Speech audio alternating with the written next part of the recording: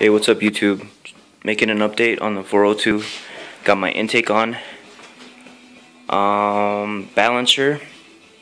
It's all pretty much put back together, timing cover. I got my heads on. Torque down. Painted.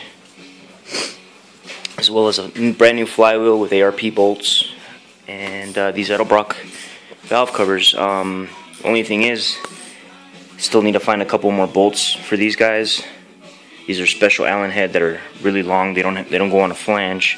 They go through the boss in here and tighten that way. So I need to find a couple of these. Um, let's see. Did uh put in the camshaft and everything. Uh, torqued everything down and adjusted my valves.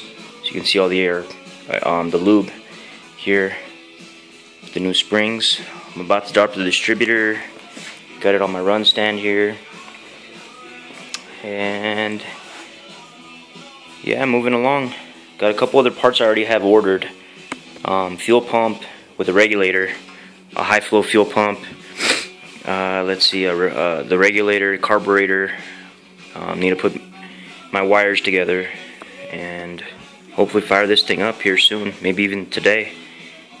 Let me know what you guys think and I'll post another video once it's uh, up and running. Thanks guys